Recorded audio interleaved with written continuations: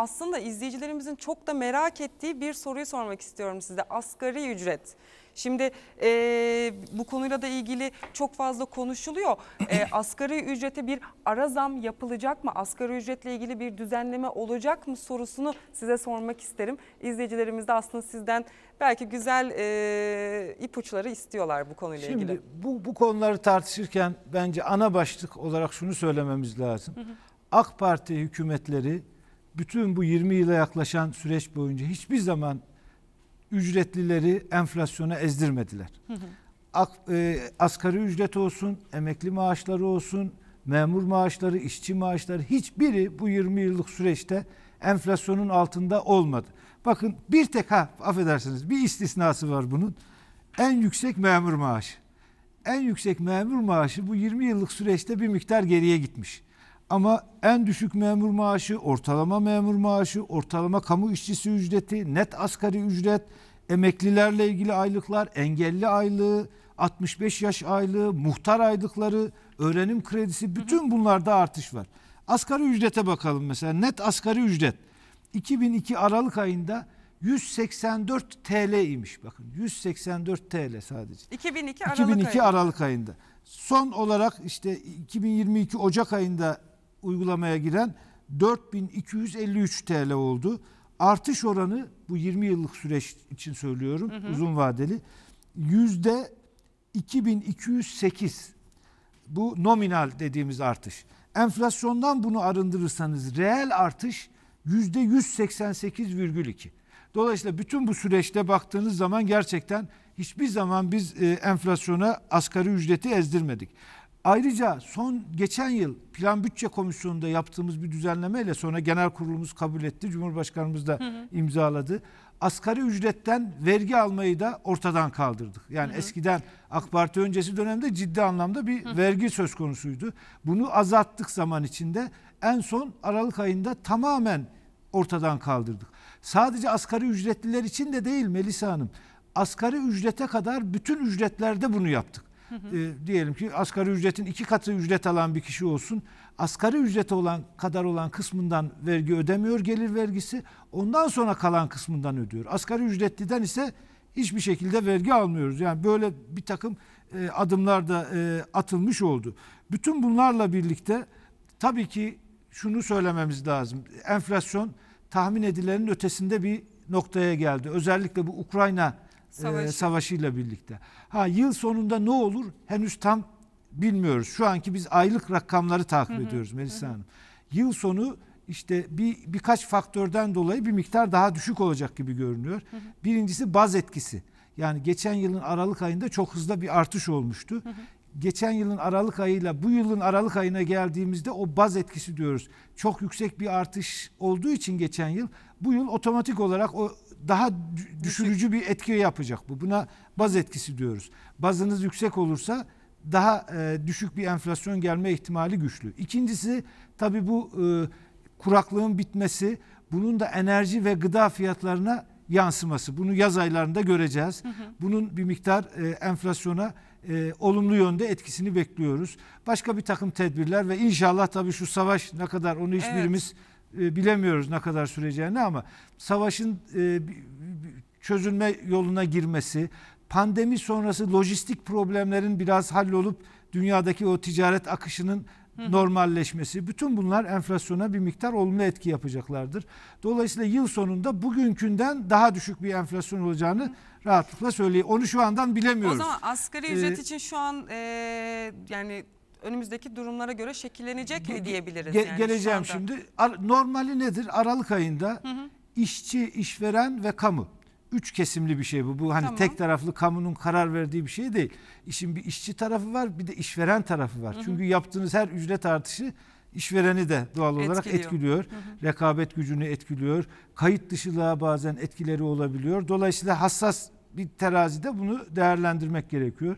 Üçlü bir şekilde kamu, işçi ve işveren müzakereleriyle şekilleniyor bu. Hiç kimseyi de e, biz bir taraftan tabii işçilerimizi memnun etmek istiyoruz. Bir taraftan da işverenlerimizin daha çok kayıtlı istihdam üretmelerini, rekabet güçlerini de korumalarını istiyoruz. Burada ben inanıyorum ki kamu üzerine düşen maksimum fedakarlıklarda da bulunacaktır. Bugüne kadar da bulundu. Az önce söyledim. Vergi almadı, prim destekleri verdi işverene. E, bu yaşadığımız ortamda da mutlaka enflasyona bakılacaktır. Ha, ne zaman bakılacağını hükümetimiz söyleyinceye kadar burada spekülatif sözler söylememizin anlamı yok. E, hükümetin yapacağı açıklamaları burada Çalışma Bakanımız başta olmak üzere tabii Sayın Cumhurbaşkanımızın yapacağı açıklamaları beklemek lazım. Yalnız şunu ifade etti hükümetimiz. Temmuz ayında e, memurlara ilişkin, emeklilere ilişkin bu fiyat farkları e, enflasyondan kaynaklanan ek artışlar düşünülürken e, değişik sosyal kesimlere dönük yeni bazı tedbirler, düzenlemeler de gündemde olacak, diye Olacak. açıklamalar yapıldı. Ama bunların detaylarını hükümet açıklamadan spekülasyon yapmak doğru olmaz. Ne zaman olursa olsun, bakın vakit, va- zamanlaması ne olursa olsun prensibi bilmek lazım. Prensip şu, enflasyona kesinlikle ezdirilmeyecek. Ne asgari ücret ne diğer ücretler hiçbir zaman yapılmadı. Az önce e, rakamsal olarak da tek tek de okuyabilirim. Yani çok detaylı olduğu için zaman almak istemiyorum. Dediğim gibi sadece en yüksek memurlarda enflasyonun altında bir artış olmuş. Onun ötesinde bütün kesimler AK Parti Aynen. döneminde daha fazla reel olarak e, güç, e, satın alma güçlerini arttırmışlar. Peki. Bu dönemde de maksimum çabayı ben hükümetimizin göstereceğine inanıyorum. İlerleyen Bunu zamanlarda e, bekleyip görmemiz bekleyip lazım. göreceğiz. Hükümetimizin, Cumhurbaşkanımızın yapacağı açıklamaları takip etmemiz lazım. Peki bakalım ilerleyen zamanlarda bizler de bekleyip göreceğiz diyelim. Şimdi biraz iç siyasetten konuşalım istiyorum efendim. Ee, yani aslında şöyle ki FETÖ firarisi Enes Kanter iğrenç bir paylaşımda bulundu. Ee, şimdi Sayın Cumhurbaşkanımızın fotoğrafını ayaklar altına aldı.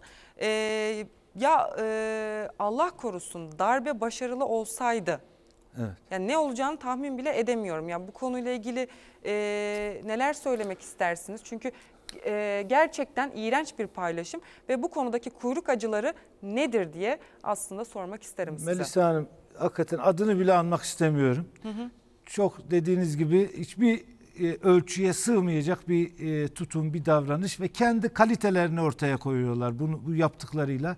E, yani kendi ne denir? E, herkes e, yaptıklarıyla aslında kendini ifade eder, kendisini ortaya koyar. E, bu yaptıklarıyla ne kadar gayrimilli olduklarını, ne kadar antidemokratik bir tavır içinde olduklarını da göstermiş oluyorlar. Bir takım dünyadaki güç odaklarına şirin görünelim kaygısı içinde e, bakıyorsunuz Türkiye'nin seçilmiş cumhurbaşkanına, demokratik olarak seçilmiş cumhurbaşkanına, milyonlarca insanın oyunu alarak görev yapan cumhurbaşkanına bu hakaretleri yapabiliyorlar. Bu kadar kuyruk Ee, acıları ne peki? Bunların kuyruk acıları belli. Yani bu ülkeyi seçilmeden, vatandaşta gidip oy almadan yönetmeye çalıştılar biliyorsunuz. Bir takım uluslararası istihbarat kuruluşlarının da oyuncağı olarak, aracı olarak Türkiye'yi dizayn etmeye çalıştılar. Başaramadılar. Ee, Cumhurbaşkanımızın liderliğinde 15 Temmuz'da halkımız bunlara büyük bir tokat attı. Cevabını verdi. Türkiye'nin aslında bağımsızlığını, milli duruşunu dosta düşmana göstermiş oldu e, milletimiz. Bu anlamda bunu hala işlerine sindirememiş durumdalar ama Türkiye'nin bir gerçekliği var. Türkiye bağımsız bir ülke. Türkiye birilerinin e, uzaktan kontrol edebileceği, dizayn edebileceği bir ülke değil. Diğer ülkelerle eşit şartlarda milli menfaatlerini esas alarak müzakere eden, çaba sarf eden ve kalkınmaya çalışan bir ülke. Ama bunlar maalesef e, bu milletten, bu topraklardan kalbiyle, beyniyle uzaklaşmış e, kişiler. Şimdi Enes Kanter- Dolayısıyla bunların ya, adını bile anmayı Tabii ben kim doğru zaten bulmuyorum doğrusu. Fethullah Gülen'e desteğiyle yani bilinen. Kim olduğu belli tabii, Ee, tabii, tabii, tabii, hatta tabii. Fethullah Gülen'in manevi oğlum dediği Evet. E, bir tip. Bunlar bunlar Ee, Türkiye'ye Türkiye'nin demokratik olarak seçilmiş cumhurbaşkanına bu lafları edeceklerini otursunlar Amerika'daki lobileri bir tartışsınlar bakalım. Başka ülkelerdeki antidemokratik bir takım uygulamaları tartışsınlar. Afganistan'da neyin olduğuna baksınlar, Yemen'e baksınlar, Libya'ya baksınlar. Birçok dünya coğrafyasında insanlara ne zulümler yapıldığına baksınlar. Bir gram e, e, vicdanları varsa onları eleştirsinler. Türkiye tam aksine mazlumlara sahip çıkan, dünyada adaleti savunan, kendi içinde de demokratik kurumlarıyla yoluna devam eden bir ülke. Ne derlerse desinler, nasıl bir algı oluşturmaya çalışırlarsa çalışsınlar.